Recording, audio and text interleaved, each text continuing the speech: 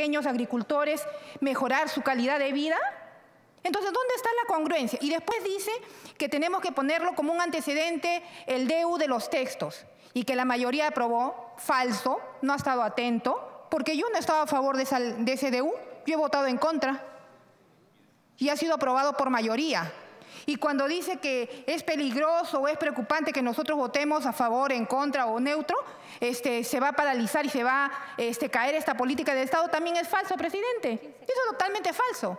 ¿Por qué? Porque lo que nosotros aprobemos acá como informe no tiene ninguna implicancia ni injerencia en el DU que ya, ya, se aprobó. Está en vigencia. Simplemente es un insumo, es un insumo para que el nuevo Congreso, ojalá que no sea yayero de este gobierno, sino que sea un Congreso que verdaderamente legisle en función a la población. Y aquí está evidenciándose que los únicos beneficiados son las empresas grandes, son los únicos beneficiados. Y dentro de ellas, algunas, algunas voy a mencionar. Motores Dices Andino, tenemos Quimia, tenemos a Rexol Comercial, tenemos Resemín, Snack América Latina, ¿no? Empresas grandes que se están beneficiando Panamericana Televisión, tenemos compañía minera La Poderosa, claro, pues muy poderosa, que tiene este beneficio de estas deducciones. Entonces, y aquí yo quisiera saber, y como dice el congresista Clemente, que solamente es el 0.12%. Uf, una miseria, una miseria. Pero esa miseria sale del bolsillo de todos los peruanos y hay que gestionarlo adecuadamente. Quisiera saber a cuánto equivale el 0.12%, que es una miseria para el congresista Clemente. Si lo pone de su bolsillo, bacán, pues. Pero si es el dinero de todos los peruanos, tenemos que nosotros administrarlo adecuadamente y que no nos vengan a engañar que las empresas hagan investigaciones básicas que no tienen ninguna productividad, ningún beneficio para el país y no hagan innovación, tecnología, que es lo que necesitamos realmente en nuestro país. Y que eso realmente lo hacen las pequeñas y las microempresas, no las grandes. No les interesa. Entonces, presidente, esto no tiene que ver nada con el aspecto político. Aquí tiene que ver, que, ver, con el aspecto de administrar bien los recursos de nuestro país. Y tenemos que poner un ojo a quienes le vamos a otorgar estas deducciones. Entonces, esto no tiene nada que ver con, aspectos personales y esto no tiene nada que ver con este, el Ejecutivo. Acá nosotros no queremos confrontar con el Ejecutivo, nosotros estamos confrontando, confrontando el aspecto técnico constitucional, si verdaderamente se requiere dar esta deducción o no se requiere dar esta deducción. Y esto no se requiere dar esta deducción, presidente, porque Indecopie en la página 25 dice... La presidencia de Indecopi, mediante documento de fecha 28 de noviembre del 2019, señala que la Dirección de Invenciones y Nuevas Tecnologías del Indecopi no lleva un registro de ningún proyecto de investigación, teniendo a su cargo las solicitudes de las patentes de invención y modelos de utilidad, entre otras modalidades de protección. O sea, Indecopi no lleva, no tiene un registro. Entonces, ¿por qué? ¿Cuál es el beneficio? ¿A quién beneficia Concitec? ¿Quién está al mando de esta institución del Concitec? ¿La esposa de un congresista que es ayayero del, del gobierno? Y qué casualidad, qué casualidad, y hay que mirar el informe, qué casualidad que el informe de Concitec sea el mismo que el informe de economía del MEF. ¿No? ¿Habrán pagado alguna asesoría? ¿O son los mismos que simplemente se pasan, hacen el informe y lo pasan de contrabando al MEF? El mismo informe, ¿no? Ahí están los hermanitos, pues, que se pasan los informes. Entonces, presidente, aquí tenemos que sí ser rigurosos para ver a quiénes se benefician con estas deducciones. Y quisiera saber, y que lo diga el responsable de este DU, a cuánto equivale eh, el presupuesto asignado a estas grandes empresas, 18 grandes empresas que se han beneficiado con estas deducciones y que simplemente hacen investigación básica, que no aportan este, nada de beneficio a nuestro país para el desarrollo, la innovación y la tecnología, presidente. Sí, presidente, me pide una interrupción el congresista. Tiene la interrupción, congresista Neira.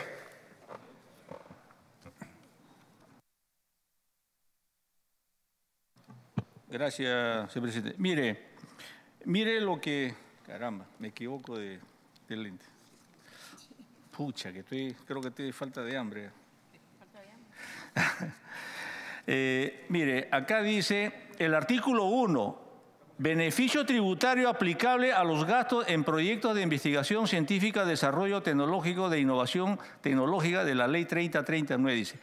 Los contribuyentes que efectúen gasto de proyectos de investigación científica, desarrollo tecnológico e, e innovación tecnológica vinculados o no al giro de negocio de la empresa que contempla los requisitos establecidos. O sea que si yo soy un fabricante de, ¿cómo se llama?, de lentes, puedo hacer una investigación de criadero de chancho, pues. Cualquier cosa, con tal, con tal de beneficiarme el de la renta a favor del país. Esa es la trampa, pues. Ahí sí no piensan pero los que son de izquierda, derecha, el comunismo, la sociedad, el pueblo, la micro y pequeña empresa. ¿Eso no, lo han entendido? Sí lo han entendido, pero se hacen los locos, pues, señor presidente. O sea que cualquier empresa puede hacer estudio, puedo ir a, la Cayetano, puedo ir a una universidad, o bájame una investigación y yo lo pongo acá y lo presento y no pago la renta. La renta es lo que requiere el país para hacer todas las obras. Entonces, no nos engañemos acá, pues. No nos engañemos, el artículo 1 está clarísimo. Entonces, pongámoslo, pues, y encima no cumplen con la ley. Gracias. Estoy interrumpiendo. Gracias. Puede continuar, congresista Presidente, me pide una interrupción el congresista Arana. Congresista Marco Arana, por favor, tiene la palabra. Gracias, presidente. Gracias, congresista Milagros Salazar. Presidente, aquí el tema no es si eh, como bancada de izquierda, ecologista, Frente Amplio está buscando que se privilegien eh, con exoneraciones tributarias a grandes empresas, porque lo tenemos muy claro. Recordemos que la última ley que se aprobó aquí en el Congreso y que el presidente Vizcarra ahora pretende hacer pasar por decreto de urgencia eran exoneraciones tributarias para agroexportadoras extendido a acuícolas y forestales, ¿no? Y lo aprobaron con el voto de la mayoría, por supuesto, con nuestra oposición. Aquí el tema de fondo, y, sobre eso no podemos perder de vista, es si efectivamente hay una política de Estado para fomentar la investigación y la innovación tecnológica. Ese es el tema de fondo. Y, eso, y esa discusión, presidente, no es un tema solo de carácter político coyuntural, es un tema de política de Estado. ¿Cuál es la diferencia que podemos tener con quienes siempre han defendido las exoneraciones tributarias para grandes intereses económicos. Es que nosotros lo estamos pensando en función de diversificación productiva y no de intensificación del modelo neoliberal extractivista, que es el que han favorecido durante 30 años en el marco de la Constitución. Entonces ahí tenemos una discrepancia profunda. Y bien que haya esa discrepancia porque hay grandes sectores del país que han quedado excluidos de ese proceso. Y más bien la discusión que debería haber, ¿no? Es cómo se puede intensificar y cómo se puede garantizar, y allí se podría recomendar al nuevo Congreso, que efectivamente eh, estos fondos que se van a disponer obedezcan, uno, a diversificación productiva, a actividades económicas en equilibrio con el medio ambiente, en tercero, que sean investigación y, esto, innovación tecnológica, respetando derechos laborales, respetando derechos ambientales, eh, respetando derechos de las, de las comunidades, ¿no? y, y podríamos decir, además, que debería beneficiarse sobre todo a las pequeñas y medianas empresas.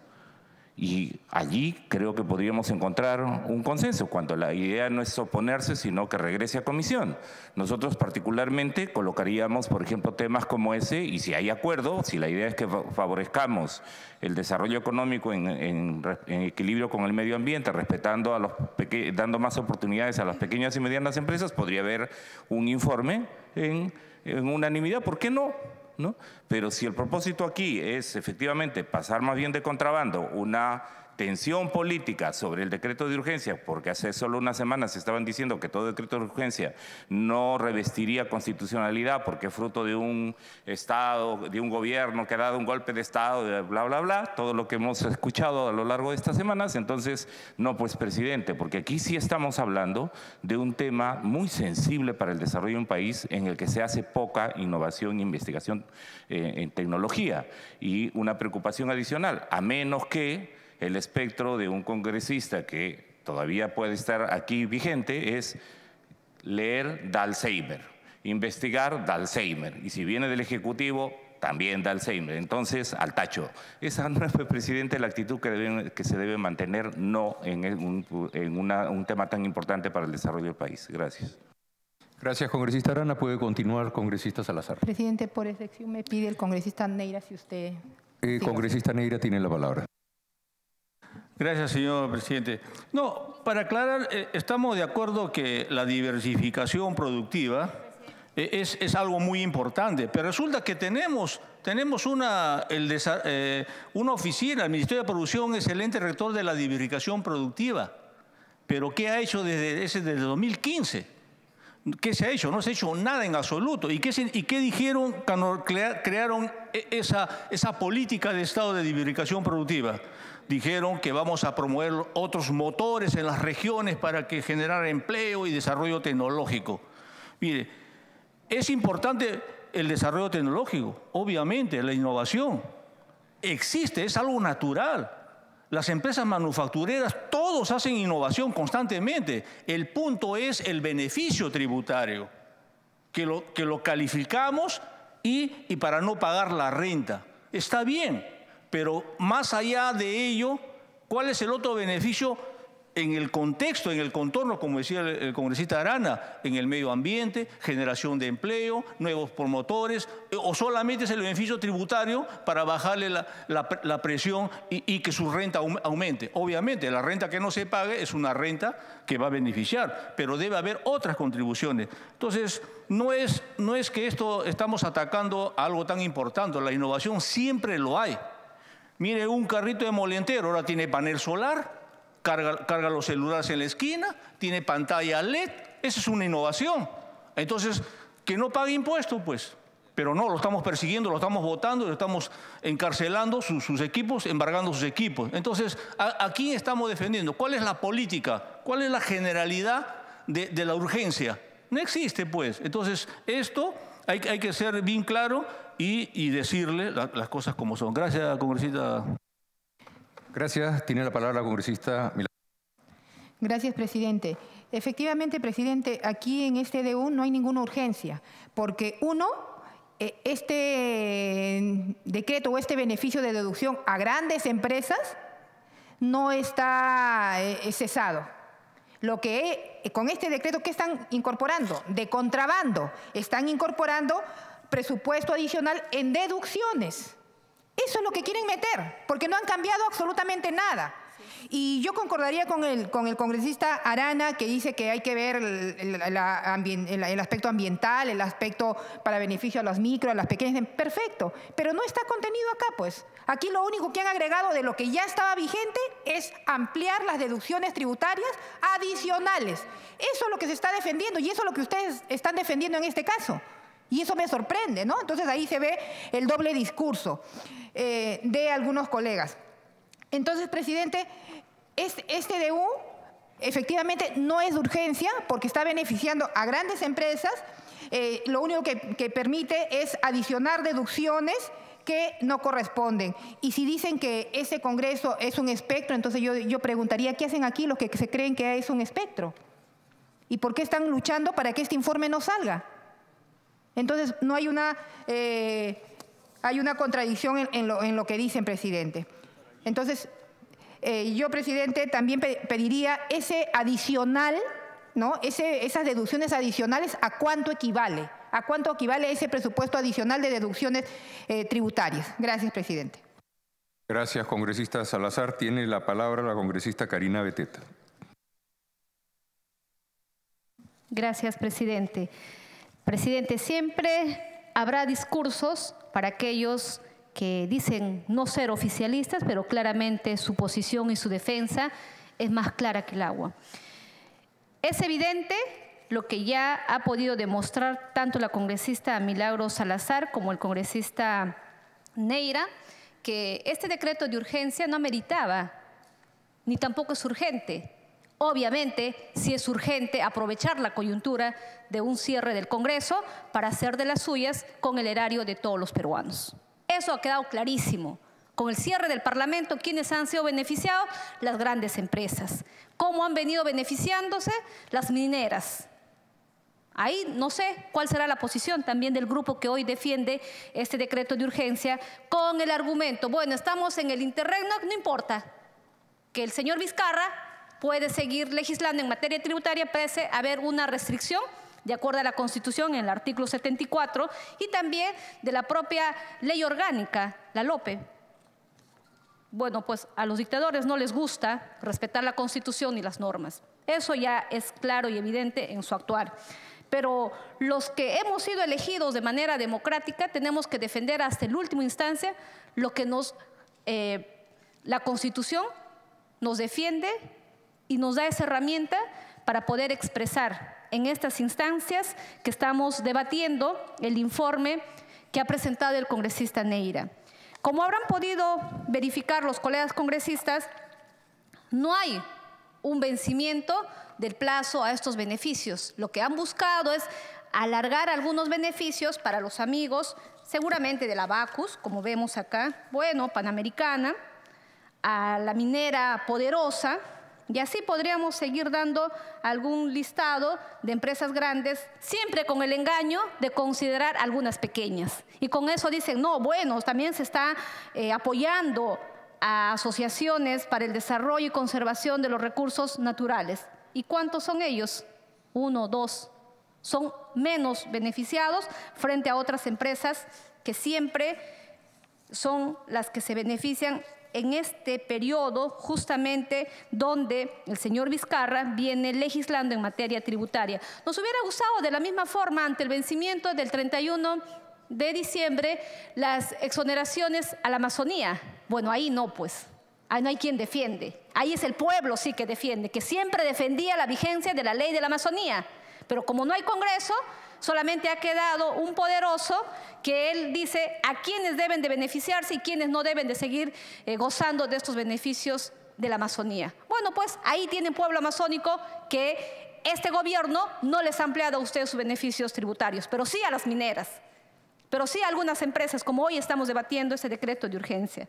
Presidente, aquí no solamente la norma pueden algunos decir que sí, no puede ser de alguna manera eh, aplicable en su totalidad el artículo 74, como algunos colegas he escuchado, dice, bueno, hay una excepción porque estamos en una coyuntura de interregno y que sí le puede permitir al Ejecutivo eh, legislar en materia tributaria. Pero la norma también es clara, dice, cuando hay emergencia, ¿cuál era la emergencia? ¿Cuál es la urgencia? Y esto va más allá, porque si entendemos, y aquí hay algo que muchos no están viendo, lo que quiere este gobierno, de facto, me preocupa. Parece que no habrá ni elecciones en el 2021, porque todas sus normas va al 2022, o sea, más allá de su mandato. Si tienen pleno conocimiento que el nuevo Congreso debe instalarse en un mes, luego de las elecciones que se van a llevar a cabo el 26 de enero. ¿Por qué no dejar que ese Parlamento pueda legislar en estas materias? Que lo correcto hubiera sido solamente un año. ¿Pero por qué todavía legislar hasta el 2022? Será tarea de los nuevos parlamentarios que ellos tendrán que derogar estos decretos de urgencia. Si bien es cierto, nosotros tenemos la responsabilidad de dar nuestras opiniones y a través de nuestras votaciones que si estamos o no estamos de acuerdo. El aprobar el dictamen del congresista Neira no significa que se va a dejar de aplicar este decreto de urgencia. Se va a aplicar. La única diferencia es que nosotros podemos, a través de nuestras votaciones, decir que no estamos de acuerdo y estas siendo nuestras observaciones. Y el próximo Parlamento, si es un Parlamento independiente, autónomo, con el cumplimiento de sus funciones eh, fiscalizadoras, podrá cumplir ese rol. Pero si vendrán congresistas simplemente oficialistas, será su decisión y será el pueblo y, la historia quien los tendrá que juzgar a ellos por sus actos. Por ello, señor presidente, yo sí coincido con el informe presentado por el congresista eh, Ángel Neira para que esto debería de aprobarse y que será el próximo Parlamento que tendrá que legislar en esa materia. Creo, eh, aprobar que nuevamente retorne a este grupo de trabajo, entiendo que seguramente hay alguna eh, línea, indicación a aquellos congresistas que quieren seguir dilatando para luego atacar. Decir que mira, se pasó el tiempo y los congresistas no cumplieron con ese rol. Porque si fuera la otra la, opción, podrían hoy manifestar qué es lo que están en desacuerdo y plantearlo así de manera democrática. Si se acoge bien y si no se acoge, no. Esa es la democracia, respetar las posiciones y a través de las votaciones se pueden someter a votación. El congresista Apaza me pide una interrupción, si usted lo permite, señor presidente. Por favor, congresista Justiniano Apaza, tiene la palabra.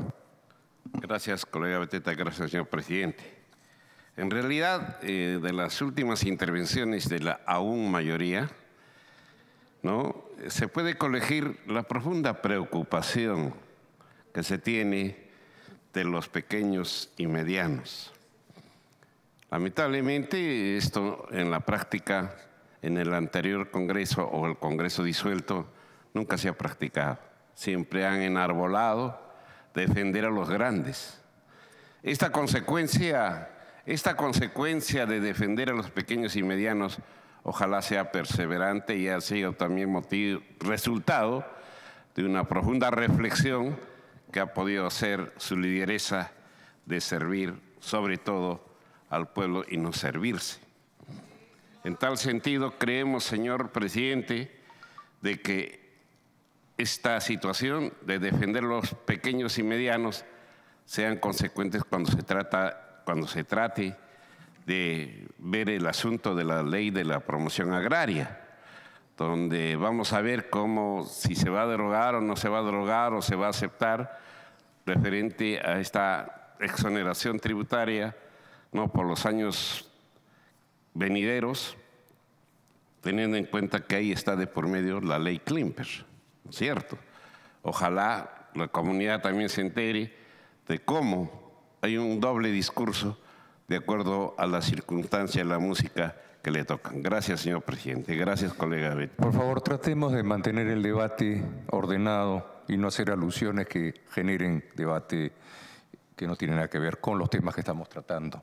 Eh, le pide interrupción el congresista ibérico, congresista.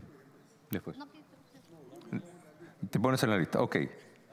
Eh, congresista Beteta, por favor. Sí, eh, presidente, es evidente que siempre el discurso para poder eh, abanderar alguna lucha que a la final nunca han cumplido con esa lucha, eh, van a tratar de querer cuestionar cualquier opinión que nosotros podamos vertir. Ahí están mis intervenciones y están mis acciones. Siempre he defendido a los pequeños y medianos empresarios y sobre todo he sido una defensora y seguiré defendiendo las exoneraciones de la Amazonía, porque eso sí beneficia directamente a los ciudadanos y más aún a los amazónicos. Eh, creo es necesario y dejar constancia entonces de que hoy nuestro colega Pasa, a quien tengo mucha estima, nos señala que ya se cansaron de defender a los pequeños y ahora se volverán defensores de las grandes empresas. Es su derecho, y nadie cuestiona. Así que, señor presidente, creo dejar claro que nosotros aquí no estamos aprobando ningún dictamen, simplemente son informes de la comisión permanente que servirán de insumos para el próximo Parlamento. Y si ellos están de acuerdo con lo que nosotros podamos aprobar, bien, y si no, también tendrán el pleno derecho de considerar lo que ellos eh, vayan a evaluar en lo futuro. Gracias, señor presidente. Gracias, congresista. Tiene la palabra la congresista Luciana León. Gracias, presidente. Eh, yo solicitaría al presidente de este grupo de trabajo que pueda hacer una precisión en lo que se refiere a las conclusiones y recomendaciones, porque encuentro que eh, está, hay una contradicción dentro eh, de las conclusiones a las que está arribando. Por un lado, eh, sugiere o menciona que el decreto de urgencia superaría el análisis de control de legalidad a la luz de la Constitución. ¿no?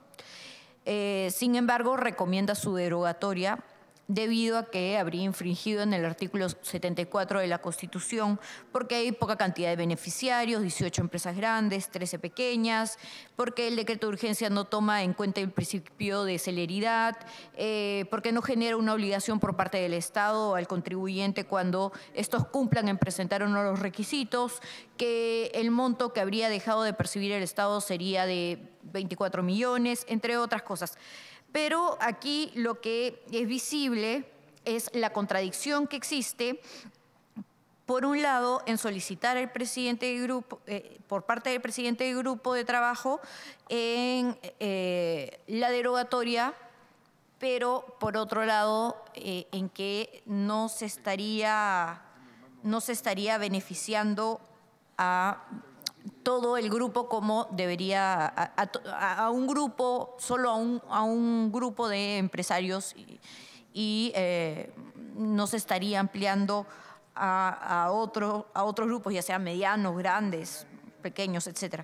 Entonces, aquí lo que, lo que vemos es que hay una contradicción. No, no me gustaría ir eh, al fondo del tema, eso lo dejamos para el próximo Congreso, sino más allá eh, precisar, estamos frente a un documento que es inconstitucional, sí o no.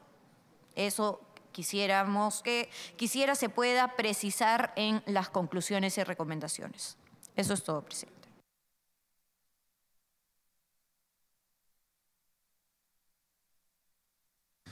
Tiene la palabra el congresista Miguel Torres. Gracias, presidente. Presidente, mi intervención va a ser porque eh, yo quiero dejar claro el sentido de mi votación. He estado escuchando con atención tanto al, presidente de este grupo de trabajo como a cada uno de los miembros de la, comisión y eh, me veo en la necesidad de hacer algunas precisiones. Cuando nosotros hablamos de una deducción adicional dentro de la ley del impuesto a la renta, estamos hablando evidentemente de un beneficio tributario. ¿sí? O sea, si normalmente yo puedo deducir 10 pero ahora me van a permitir deducir 15 o 20, es evidente que estamos hablando de un beneficio tributario. Eh, ¿Era un beneficio tributario acorde con lo que está sucediendo en el mundo? Yo creo que sí. Creo que se está eh, evidentemente impulsando la investigación, eh, el desarrollo, que es lo que impulsa a una economía en cualquier lugar del mundo, es correcto. ¿Se vencía el plazo de este beneficio tributario? La respuesta es que sí se vencía y se vencía el 31 de diciembre del 2019. Eh, a la pregunta, ¿puede ser, eh, se puede emitir un decreto de urgencia en materia tributaria? Acá es ya donde hay varios que hemos tenido que eh, tomar una posición. Porque es evidente, presidente, que hay dos teorías o dos interpretaciones. Una que te dice, una interpretación literal que te dice un decreto de urgencia no puede contener materia tributaria. Esa interpretación literal, yo la vez pasada señalé que ya está desfasada, que no deberíamos utilizarla, que más bien necesitamos una, eh, una interpretación que integre eh, las disposiciones de la Constitución y que además eh, busque dar algún tipo de solución a la situación en la que estamos. Y es en ese sentido que varios de quienes estamos en la Comisión Permanente dijimos, Sí, pues habrá que reconocer que hay dos tipos de decretos de urgencia. Un decreto de urgencia en situaciones regulares y normales, en las cuales evidentemente no puedes eh, disponer o hacer disposiciones de materia tributaria, y eso estamos hablando cuando no está cerrado el Congreso, cuando estamos en una plena y absoluta democracia. Pero cuando estamos en una situación de interregno, la situación es distinta. Y sosteníamos que a través de un decreto de urgencia se podía eh, hacer disposiciones tributarias siempre y cuando, eso sí, se cumpla con otras características. ¿no? Entonces, eh, cuando veo este informe, claro, yo digo, no, no, no coincido en, el extremo en que eh, no puede ser en materia tributaria. Y no puedo coincidir porque si no estaría directamente contradiciéndome con lo que he señalado en la última oportunidad. Entonces no, no habría lógica. Yo creo presidente, que sí se puede, en, un, eh, situación de interregno, sí se puede legislar en materia tributaria siempre y cuando se cumplan con los requisitos eh, de excepcionalidad, de generalidad, de transitoriedad, etcétera, de los que ya hemos conversado. Ahora bien, habiendo dejado clara mi posición en ese sentido de que sí puede haber un decreto de urgencia en un estado de interregno con contenido tributario, debo señalar también que no veo que se cumplan los demás requisitos cuando se está ampliando un beneficio. O sea, cuando veo en el informe, y acá lo han descrito de una manera bastante clara, cuando veo en el informe que la deducción adicional pasará de 175% o 150% y empiezan a detallar supuestos en los cuales va a poder incrementarse ese, esa deducción hasta incluso 215%, es donde creo que ahí sí ya se les pasó la mano. Ahí yo creo que ya se excedieron. O sea, eso no es urgente. Eso es algo que se tiene que debatir, que se tiene que discutir, que el siguiente Congreso debería definirlo. Entonces, recopilo nuevamente. Yo creo que sí puede haber un decreto de urgencia en materia tributaria en una situación de interregno. Sin embargo, ampliar el beneficio no creo que sea urgente. No creo que sea de emergencia. ¿Puede ser urgente por el tema del vencimiento del plazo? Sí. Y es lo que nosotros hemos eh, conversado y hemos dicho, oigan, lo que han debido hacer desde el Ejecutivo es sacar un solo decreto de urgencia señalando todos los beneficios tributarios que se venzan al 31 de diciembre del 2019 se extendrá por un año más. Y se acabó la historia, se acabó el problema. Eso es la naturaleza de un decreto de urgencia. Pero no, pues cuando empiezo a hacer algunas cositas que parecen medias raras, que dice, oye, quiero ampliar esto acá, pero voy a aprovechar porque ya no quiero darle 175, sino que quiero darle 215%, evidentemente va a generar este tipo de discusiones, pues donde vamos a decir, oigan, esto estuvo bien, verdaderamente se necesitaba ampliarlo de esta manera. Creo que el Ejecutivo nuevamente por falta de una asesoría adecuada, y acá hago un paréntesis, y debe pasar lo mismo, presidente, que lo que, ha pasado con la, con la ley del cine que hace unos días nos acabamos de enterar de que el Ministerio de Economía y Finanzas no consultó a la SUNAT. Y es más, que el Ministerio de Economía y Finanzas lee la ley de una manera distinta a la SUNAT. Al revés, me hace la precisión ahorita Violeta, en efecto, hemos tenido la presencia del Ministerio de Economía y Finanzas y la presencia de la SUNAT. Y los dos tienen una interpretación total y absolutamente contradictoria. Entonces es increíble. Entonces, claro, cuando veo este tipo de cosas digo, lo que pasa es que no se han asesorado de manera debida. Lo que pasa es que eh, quieren sacar al caballazo algunas cosas y eso no está bien. Reitero, yo tengo una opinión personal respecto de eh, este tipo de promoción y de, y incentivo. Estoy de acuerdo, pero creo que el mecanismo que han utilizado ampliando los beneficios no es el más adecuado. Yo quiero acompañarlos en el, voto. Mi problema es que, nuevamente, no puedo contradecirme en el sentido de, señalar que no puede haber decreto de urgencia en materia tributaria en una situación de interregno. Entonces, por eso es que voy adelantando, presidente, que yo voy a votar a favor, pero con reservas en lo que es eh, la, la, conclusión 5.2.2 y en la recomendación 6.1. Eh, me, pide una, me pide una interrupción el congresista Ochoa. Congresista Ochoa, por favor, tiene la palabra. Muchas gracias, presidente. Presidente, solamente en la misma lógica que está planteando el congresista Torres, es establecer esas precisiones. eventualmente podríamos corregir el texto ¿no, declarar inconstitucional, ¿no es cierto?, y, quitar, quitarnos el, decreto de urgencia, sino establecer en las recomendaciones que efectivamente no, que todos coincidimos que no puede haber esas ampliaciones. Uno, dos, podemos coincidir además que estos recursos puedan estar orientados mejor a las pequeñas y medianas empresas o a la diversificación productiva. O sea, y eso le permitiría efectivamente a la comisión una nueva redacción, ya no sería un retornar, sería un cuarto intermedio para que presente el, nuevo, el nuevo texto.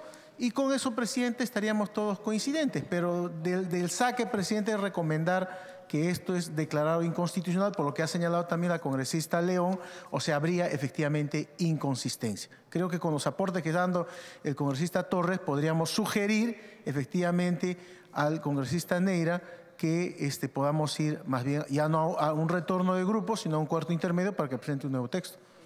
Congresista Neira. Por lo cual yo retiraría obviamente mi moción. O sea. Por eso, le agradezco, congresista Choga, congresista Neira, de una propuesta planteada por el congresista Torres, Violeta y Ochoa del punto 5.2 eh, y eh, en el sentido de que sí, en los casos de urgencia, como bien decía el congresista Torres, hubiese sido interesante recibir un solo decreto de urgencia en el cual se prorrogan todas las exoneraciones, ahí acababa el tema.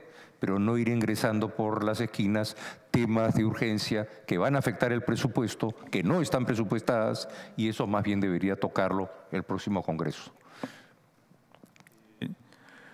Señor presidente, en realidad la intervención nos ha llevado a entender este, la improvisación eh, eh, en esta etapa que está pasando el país. ¿No? Acá están metiendo cosas de contrabando, clarísimo.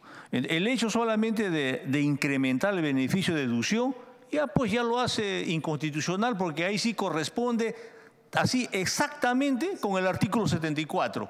Exactamente. Entonces lo que podemos decir nosotros es no derogar porque atenta contra este y poner este, este, este, este, esta deducción como lo ha dicho el congresista Miki Torres. Aquí se les pasó la mano. Entonces, si, no, si vamos a sacar eso, quiere decir que esto también podría pasar piola. No, pues, no, no puede. O sea, eh, y además la oficina de asesoría legal del Congreso, o sea, le vamos a quitar el piso también a él. O sea, que no sirve, o sea, la oficina de, asesoría no sirve. ¿Está por gusto? No, estaremos faltando nosotros. O sea, estaríamos contradiciendo a nuestra oficina de asesoría legal. Y esto ha sido en base a ello. Entonces, no, no creo que esto... Además, esto no es un dictamen, señor presidente. Esto no es un dictamen. Nosotros no estamos derogándolo. Es, una sugerencia para que lo discuta, lo debata el, siguiente Congreso. Ellos dirán, lo meterán al archivo y dirán, pues el señor Neira está loco, pues no sabe, no sabe de lo que habla.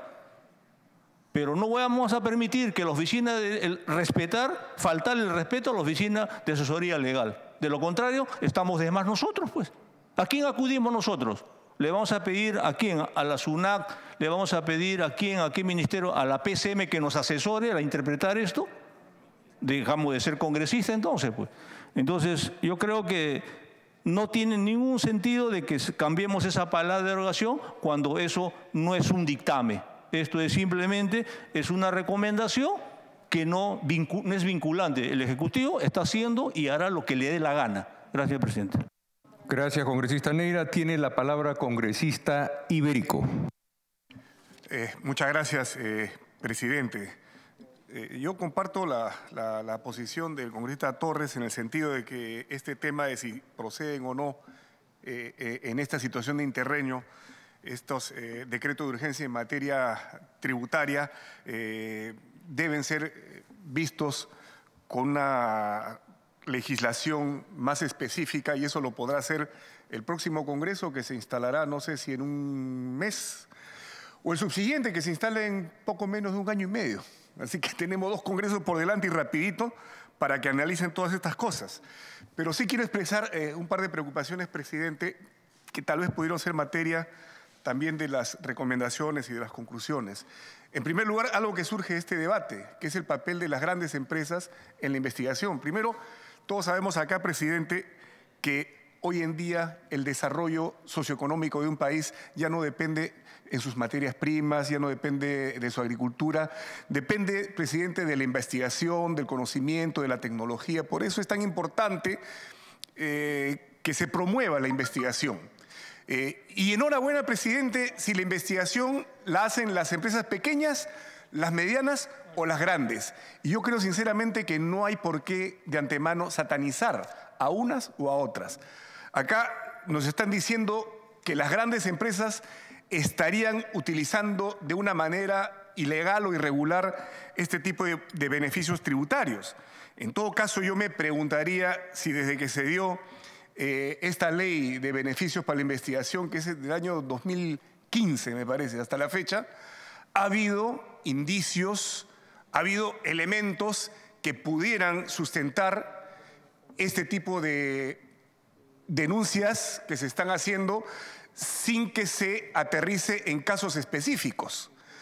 En todo caso, presidente, si no se ha investigado en todos estos años la utilización correcta o incorrecta de este beneficio tributario, me parece que sí debió ser parte o debería ser parte de las recomendaciones para los congresos que nos van a suceder, que son dos y rapidito, que se investigue hasta qué punto se han estado haciendo realmente investigaciones con resultados concretas en materia científica, tecnológica, utilizando este beneficio tributario.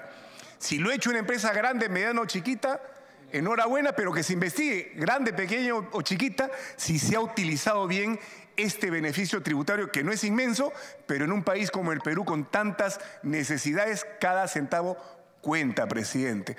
Por eso yo recomendaría en todo caso, yo sé que ya no se puede meter a menos que haya un cuarto intermedio, pero que quede registrado que es necesario investigar el buen uso de esta exoneración tributaria en el futuro, si es que es necesario. Y por otro lado, me parece correcto que una manera de medir si realmente han sido investigaciones eh, verídicas o si han sido investigaciones eh, eh, medias, truchas, ¿no? Es decir, si son realmente investigaciones que contribuyen al desarrollo o son solamente para beneficios tributarios, me parece correcto que estas investigaciones tengan que estar registradas en Indecopi. Pero la ley presidente, desgraciadamente, te abre también una puertita, ¿no?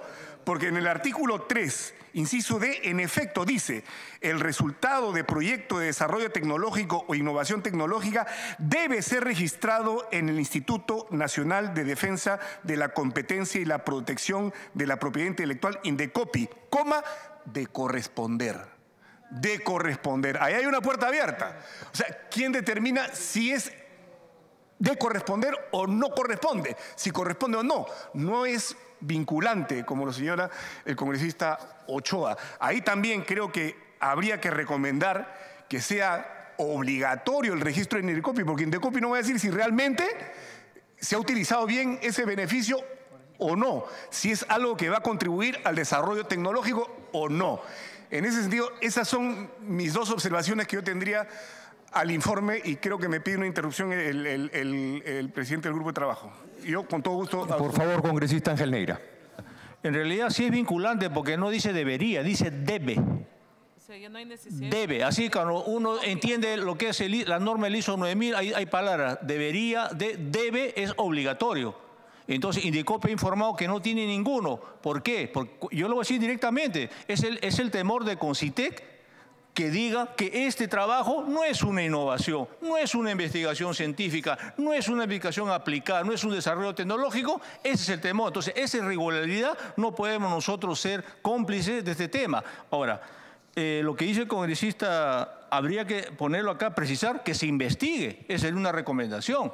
Pero el hecho, el hecho de que, ¿cómo se llama? En este caso, específicamente, el tema del decreto de urgencia del 010, sí, eh, está claramente, está al hecho de, ya, de ampliar, ampliar el beneficio tributario, ya es inconstitucional, pues.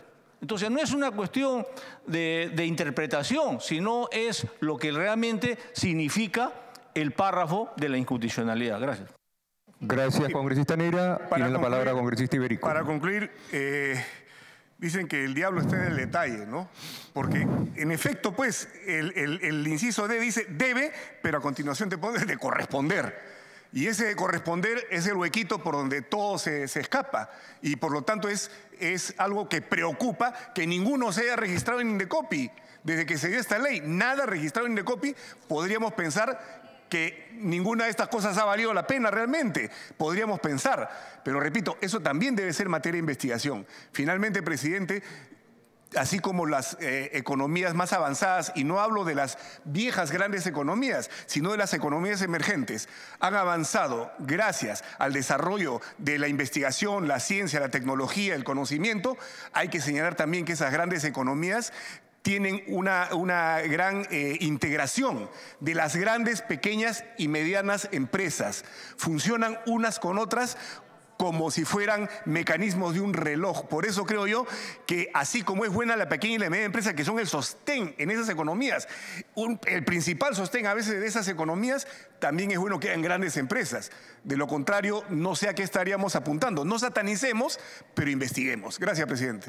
Entonces, eh, habría, eh, congresista Neira, por favor. Eh, está buena la sugerencia de recomendar que se investigue el, siguiente Congreso. Ok, mire, cuando dice debe, corresponde, vamos a aclarar pues. Cuando dice corresponda, ¿cuál es el nivel del beneficio que tiene esa, esa exoneración? El nivel si es investigación básica, investigación aplicada, investigación, eh, si es innovación o si es desarrollo tecnológico.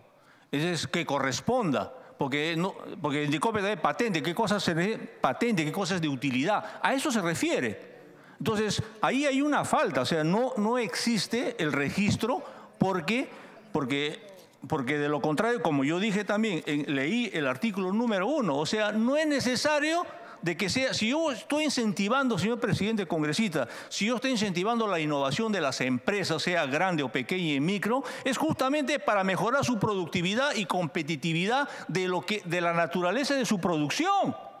Pero acá, está, acá hay una trampa, pues. No importa que yo fabrique, este, mm, eh, soy carpintero, pero también puedo hacer una investigación para el sector pesca. Entonces, ¿qué esencia tiene? Entonces, ahí, ahí se está distorsionando la naturaleza del aporte. Entonces, ese es el artículo número uno. Entonces, esa recomendación es buena decirle que se investigue ese tema. Entonces, debería ser urgencia que cambien ese artículo, pero yo estoy de acuerdo que se ponga, vamos a poner ese tema, pero de la derogación no tiene, en, ese sentido, de que se ha excedido, obvio que hay que derogarlo, pues pero es una recomendación que lo hará el otro Congreso, no nosotros.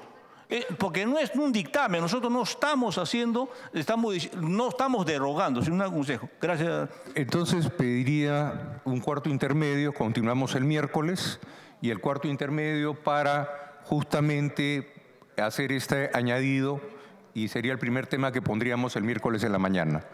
¿Estamos de acuerdo? Es una frase nomás, ahorita. ¿Una frase? Es una frase, ¿no? De investigar, nomás. ¿Está usted de acuerdo, congresista ibérico? Mi, duda subsiste sobre esto. no, no, pero poner la frase que. Ah, sí, sí, por supuesto, que se investigue eso y que se quite esa, esas dos palabritas de corresponder, porque de todas maneras generan la duda, presidente. Es interpretable. congresista ¿usted estaría satisfecho también? Presidente, lo que pasa es que hay varias recomendaciones, no es solamente una. O sea, hay varias recomendaciones. La ha hecho el congresista Miki Torres, la ha hecho el congresista León, la hemos hecho nosotros. O sea, creo que hay varias recomendaciones. No solamente es este punto. Además, en el rubro que está señalando el, el congresista Iberico, también está hablando de las competencias de Indecopi, ¿no es cierto? Que, registra un tipo de y el CONCITEC otro tipo de. O sea, ahí creo que todavía hay, hay, que, hay que aclarar. Entonces, presidente, creo que sí amerita que efectivamente presente un nuevo texto, o sea, con, recogiendo las recomendaciones, pero no es una sola recomendación. Muchas gracias, presidente. Congresista Ángel Neira, por favor, le han hecho una propuesta, ponen una propuesta de tomar las recomendaciones del 5.2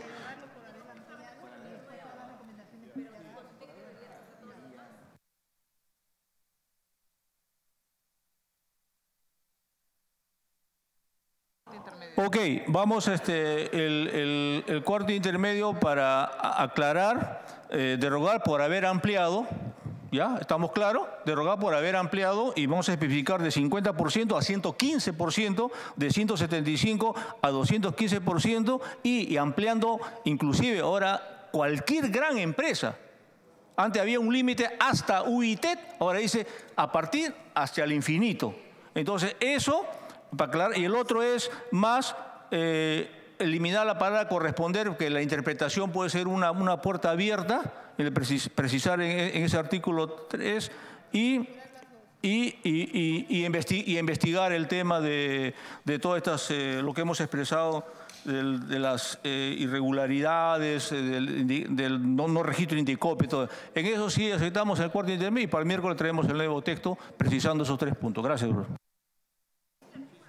Gracias, congresistas. Entonces, no habiendo eh, más intervención al respecto, habiendo acogido el coordinador del grupo de trabajo para traer un nuevo texto y someterlo a votación en la siguiente sesión. Siendo así, se solicita la dispensa del trámite de aprobación del acta para ejecutar lo acordado en la presente sesión. Los que estén a favor, sírvanse levantar la mano. Los que estén en contra, los que se abstengan, Aprobado por unanimidad. Se levanta la sesión siendo la 1 y 30 minutos eh, para el día eh, miércoles eh, 10. Miércoles a las 10 de la mañana.